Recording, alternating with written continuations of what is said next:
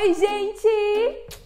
Hoje eu trago mais uma receita pra vocês e é uma receita fácil, não usa muitos ingredientes, de uma sobremesa que fica maravilhosa, que é a pera caramelada. Essa receitinha é maravilhosa agora pro calor, né, pra você dar um, um toque a mais ali pro sorvete, né? Sei lá, você vai tomar um sorvete ali com a sua família, comprou aquele pote, faz essa receita pra dar aquela incrementada e você pode fazer também com maçã, tá bom? Se não tiver pera ou se você não gostar de pera, você pode fazer com maçã. E é isso, se vocês estão gostando desses vídeos, gente, cliquem muito aqui em gostei, se inscreva no canal para acompanhar os próximos. Não percam, gente. Se inscrevam, ativem o sininho, que a gente tá tendo Ana Todo Dia abril aqui no canal, então estão tendo vários vídeos por aqui. E é isso, vamos lá? Você vai precisar de 5 peras baby ou 4 peras normais, elas não precisam estar tá muito maduras, uma xícara bem cheia de açúcar, 3 cravos e um pau de canela e uma xícara de água.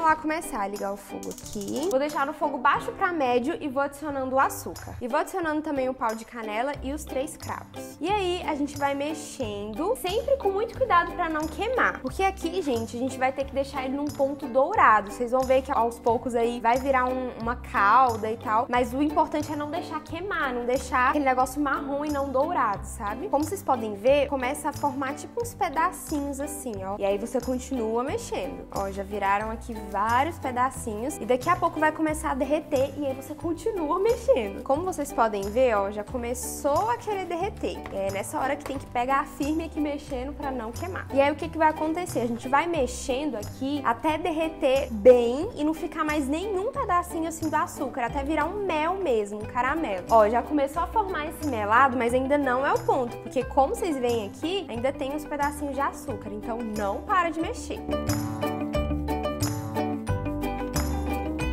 Agora que já não tem mais nenhum pedacinho de açúcar, a gente vai adicionar a água aos poucos aqui. Cuidado para não queimar. Aí você vai mexendo aqui, ó, de fora assim para dentro, para ir desgrudando aqui também. Como vocês viram aqui, gente, ficaram uns pedacinhos de açúcar meio empedrados, porque o açúcar deu uma cristalizada. Então eu vou mexendo aqui bastante até derreter e pegar essa, essa consistência mesmo, esse negócio aí do caramelo. E o que é um pouco normal também, né, gente? Porque tava muito quente, daí quando joga água que é um pouco mais fria, acontece de dar uma cristalizada. Eu aumentei um pouco aqui o fogo e aí vai começar a formar essa espuma assim, ó. Continua mexendo, gente. O segredo aqui é mexer. Agora eu vou abaixar o fogo e agora a gente vai adicionando as peras aqui. Agora eu vou continuar mexendo até eu ver que o caramelo deu uma reduzida, sabe? E as peras também pegaram aquele dourado assim do caramelo e também para pegar o gosto do cravo e da canela. Aqui, como vocês podem ver, já tá borbulhando bastante, que é mais ou menos o ponto, assim, já deu uma dourada dourou bastante já, então já tá bem caramelado. Agora eu vou desligar o fogo e aí a gente vai esperar esfriar.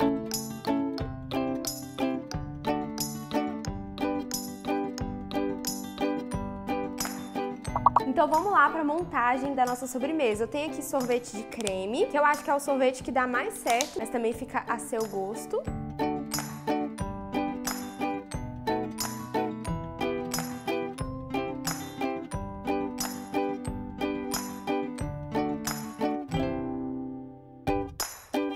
Agora, vamos experimentar, né? Ver se prestou.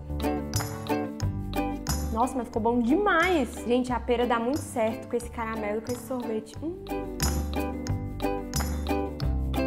Eu não sei vocês, mas eu amo o caramelo quente, assim, com sorvete. Nossa, que bom demais. Gente, façam aí essa pera caramelada na casa de vocês. Façam com maçã também, que fica muito bom. Mas a pera dá um negócio, assim, diferente. Não sei. Nossa, ficou perfeito, sério. Dá pra fazer com banana? Deve dar pra fazer com banana também. Eu amo banana, deve ficar muito bom. É isso, gente, sério. Testem aí, me contem aqui nos comentários. Espero muito que vocês tenham gostado. Cliquem muito aqui no gostei, se inscrevam no canal. E é isso. Um beijo, fiquem com Deus e até a próxima. Tchau!